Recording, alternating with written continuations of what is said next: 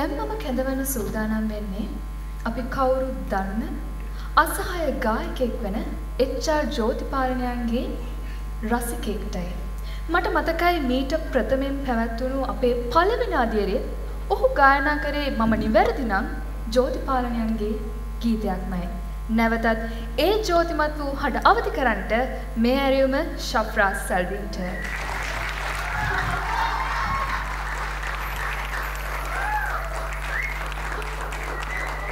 Thank you.